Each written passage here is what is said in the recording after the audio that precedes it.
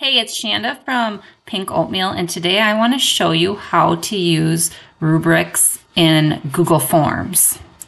So we've created the rubric for you. You're going to click here. It's going to prompt you to make a copy. What I would immediately do is make this your template. So you'll be able to work off of this for every kid that you use this rubric on. So make it your template. You're never actually going to touch the template, it's just your blank slate to work off of. Now, when you're ready to use it for one of your kiddos, what you're gonna do is you're gonna go over here and you're gonna make a copy. And then you're gonna name the copy whatever you'd like. In this case, I'm just gonna pick a kid's name, not a real kid, just a kid. So I'm gonna say Cade on and off the bus make a copy. So now this is dedicated to Cade. I can even add a description here. Cade, and then say his last name, something to that matter. And then what you can do is you can edit any of the questions that I have already created for you.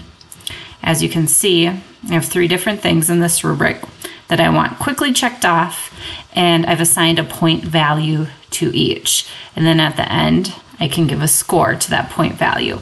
Now you can change a question, you can change wording, you can do whatever you like. If you'd like to add a new question, you just click here and add it.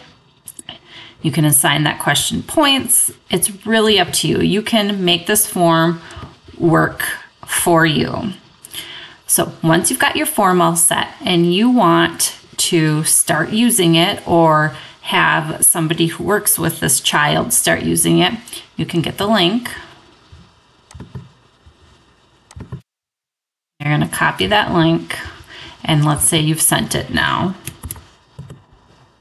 Now that the link's been sent, this person is ready to fill it out. So they're going to enter the date, their name, and then they can start filling it out three, three, and maybe two here. And they're going to calculate that total score. That was eight. Submit it. Simple. The person either got the kid on or off the bus, did that really quick for you. And now what's cool is you can see in real time, oh, I got a response today. Looks like on April 25th, Joe responded. Here's what he answered with the score of eight. But what I really like is when you link it to the sheets, you can create that new spreadsheet and you can see on this date, the total score was eight, two points, three points, three points. I just like this format myself. It's time stamped to when it was done. And there you go, you've got it. So now let's say on a different day, so let's say this was done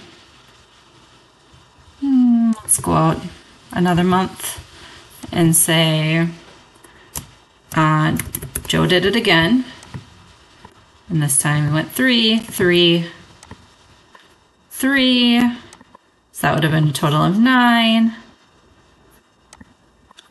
Submit. So walking in from a bus, this could easily be done. Now you can say, oh, look, I've got another response.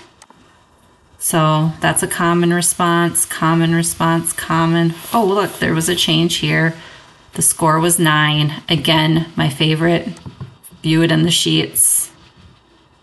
Joe did it about a month later. Looks like there was an improvement here. The score went up to nine. So that's a pretty cool way you can kind of use these rubrics to track progress. You could use it as a starting point that you've already completed, and you can see how the scores change and which scores are changing. And again, if you're going to use do it with a different kid, you don't want to work off of Cade's template. You want to make a copy and create it for a new student. So you'd put that student's name or initials or whatever you wish right there and make a copy. So that is how you use rubrics in Google Forms.